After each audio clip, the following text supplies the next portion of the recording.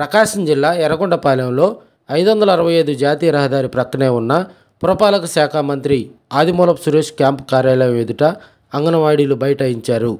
తమ డిమాండ్లు పరిష్కరించాలని నినాదాలు చేశారు. సీఎం జగన్ ఇచ్చిన మాట ప్రకారం తమకు జీతాలు పెంచడంతో పాటు తమ డిమాండ్లు పరిష్కరించాలని అంగన్వాడీలు తెలిపారు.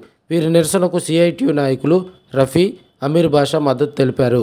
ఈ కార్యక్రమంలో ఎర్రగొండపాలెం ప్రాజెక్టు పరిధిలోని అంగన్వాడీ కార్యకర్తలు భారీ సంఖ్యలో హాజరయ్యారు.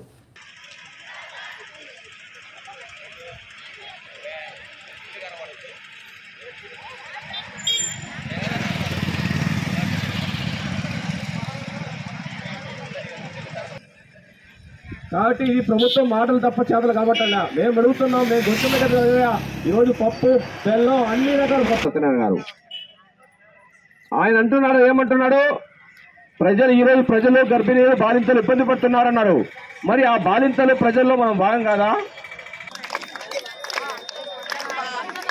వస్తు వస్తు గౌరవ వేతనం